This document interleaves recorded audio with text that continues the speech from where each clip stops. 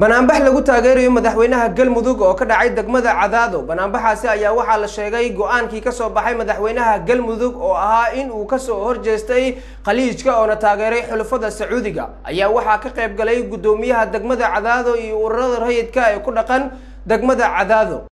Waxaan leeyahay dadkaani aad iyo aadaan uga mahad celinaynaa inay shucuurtooda maanta ka hadlaan. Waxaan rabnaa annagu mudaxaraadkan bannaanbaxa nabadeed waxaan ku taageeraynaa dowladdeenna galmudug madaxweyne axmed ducaale geelle xaaf ayaan ku taageeraynaa waxaan rabaa inaan dadka u sheego. Madaxweyne axmed ducaale geelle xaaf markii hore dadkan shacabka ahi ma keenin waa loo doortay. Waxaa noo doortay baarlamaankii annagu aan keensannay ayaga ayaa madaxweyne nooga dhigay. Annaguna sidaas ayaan ku taageersannahay go'aankii uuridaan ku taageersannahay wixii uu keenaan ku taageersannahay. Horta waxaan u mahad celinayaa shacabkeenna maaragtay sharafta mudan oo shuxuurtooda sida karaamada leh u muujiyey. Bannaankana soo dhigay fakarkoodii. Waxa weeye horta waa maasan yihiin. Waxaan ka hadlaynaa maanta oo aan iskugu nimid laamigan.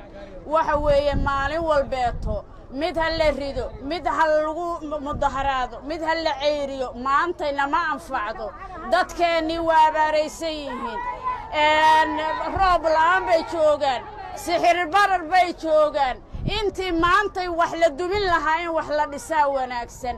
Mana aha nin dan leho inuu ku tunto shacabkii iyo marastii iyo masaakiintii meeshaan ku noolayd. Marka waxa weeye waxqabadaa loo baahan yahay. Waxqabadka dadkii mas'uulka nooga ah haddaan macaaradnana waa ayaan darro. Walaalayaal allaha idinka soo aruuriyo